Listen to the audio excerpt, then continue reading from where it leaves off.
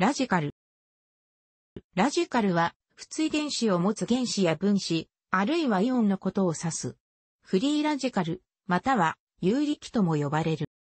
また最近の傾向としては、C、C、CH など、不対電子を持たないが、いわゆるオクテット則を満たさず、活性で単寿命の中間化学種一般の総称として、ラジカル、フリーラジカルと使う場合も通常、原子や分子の起動電子は2つずつ体になって存在し、安定な物質やイオンを形成する。ここに、熱や光などの形でエネルギーが加えられると、電子が冷気されて移動したり、あるいは化学結合が2者に均一に解列、ホモリティック解列することによって、不対電子ができ、ラジカルが発生する。ラジカルは通常、反応性が高いために、生成するとすぐに他の原子や分子との間で酸化還元反応を起こし安定な分子やイオンとなる。ただし、1、1ジフェニルマイナスにピクリルヒドラジルなど特殊な構造を持つ分子は安定なラジカルを形成することが知られている。多くのラジカルは電子体を作らない電子を持つため、磁性など電子スピンに由来する特有の性質を示す。このため、ラジカルは電子スピン共鳴による分析が可能である。さらに、結晶制御により、分子間でスピンをうまく整列させ、極低温であるが強磁性が報告されたラジカルも存在する。1991年、木下らにより報告された P、 nitrophenyl nitronyl nitroxide が最初の有機強磁性体の例である。紛らわしい表現として活性酸素のことを単にラジカルと呼ぶケースもある。これは活性酸素として働く分子がヒドロキシラジカル等反応性の高いラジカルであるためであるが、ラジカルのすべてが活性酸素として働くわけではない。燃焼をはじめとしてラジカルが関与する化学反応は数多く存在するが、実体としてのラジカルが発見されたのは20世紀の初めであった。一方、ラジカル、元、ラディカルという用語は実体としてのラジカルが発見されるより以前より存在しており、それは今日の地換気に相当する用語であり、例えば CH をメチルラディカル、メチル元というように使われた。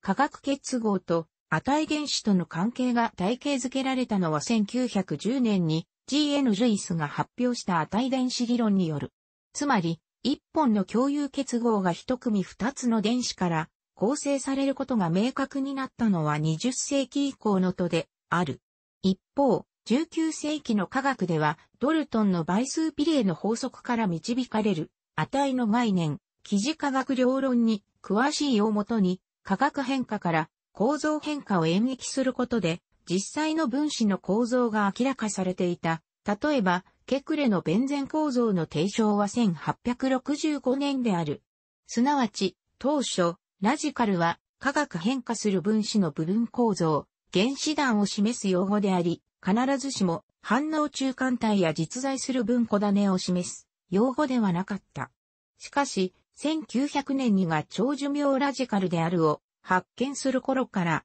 ラジカルという用語に対する状況が一変する。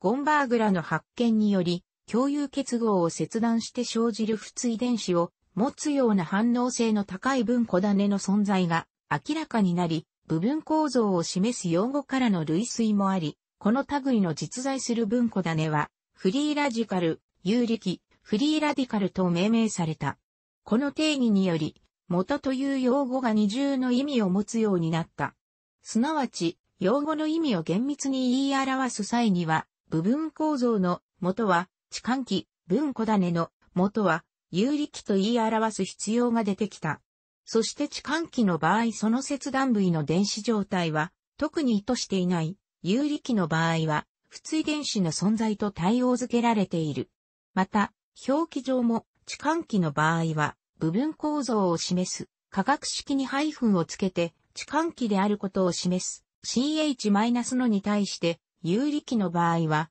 化学式にドットをつけて有力であることを示す CH。近年においては、置換基を意味する基は、 radical ではなく substitute や group と呼び、表されることが通常になったため、今日では特に断らない限り、単にラジカルといった場合は、遊離基を意味する。一方、ゲルハルト・ヘルツベルクがラジカルを分析する手段として、分光法を発展させ、ラジカルの電子状態が詳しく調べられるようになった。その結果、ラジカルが単純に結合を切断した形で存在するのではなく、特に二つの結合を切ったようなビラジカル、またはバイラジカル CH 等では、規定状態は、不対電子を持たない形で存在する子が明らかになった。一方で安定な分子の一部、O なども、不対電子を持つことから、ヘルツベルクはラジカルに対して、不対電子を持つことにとらわれず、反応性の高い活性で単寿命の中間化学種、一般の総称という広い定義を彼の著書の中で使用した。これを受けて、ヘルツベルクと関連の深い分子科学、化学物理、化学反応論、宇宙科学の分野ではこの広い定義で扱われるようになった。ラジカルに一電子を奪われた分子が他の分子から電子を引き抜くと、その分子がさらにラジカルを形成するため、反応は連鎖的に進行する。反応はラジカル同士が反応して共有結合を生成するまで続く。このような反応をラジカル反応、またはラジカル連鎖反応という。燃焼は最もよく知られたラジカル反応の一つであり、ハロゲン分子が炭化水素と反応しハロゲンカールキルを生じるのもラジカル反応である。高分子合成においても、過酸化ベンゾイルやアゾビ水素ブチロニトリルを開始剤とするラジカル重合が行われる。オゾンホールの原因となっているのは塩素原子のラジカルである。